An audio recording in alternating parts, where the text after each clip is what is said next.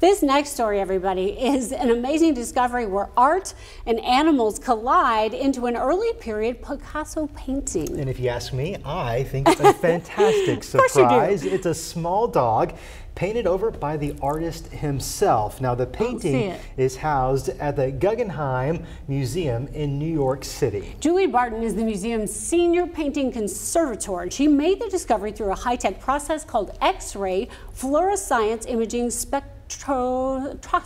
Mm -hmm. But she, to find it, though, she had to know where to look looking at this area where you can see other colors peeking through and you can see texture that doesn't relate to the final composition.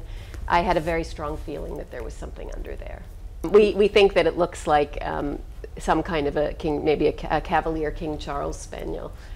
That would be very timely with all the King Charles Spaniels that we just saw at the coronation. So this discovery unveils yet another layer of what's considered to be a masterpiece. Oh. It's uh, at the center of the Young Picasso in Paris exhibition, which is right now a worldwide celebration mm. marking 50 years.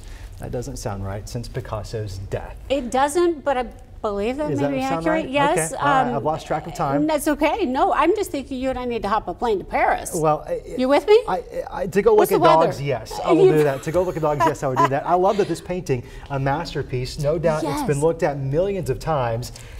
Someone just thought, you know what? Let's put it under a big fancy microscope, and they found something new. Like, Isn't what are the that odds? cool? Yeah, what just, are the odds? You know, he he knew it was there, and it was there to find, and she finally found it, Pretty and we neat. did too, and now you know too.